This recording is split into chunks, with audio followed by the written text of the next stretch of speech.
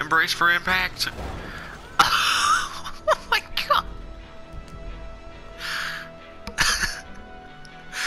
I just crushed you in between the two trash trucks. I'm saving it too.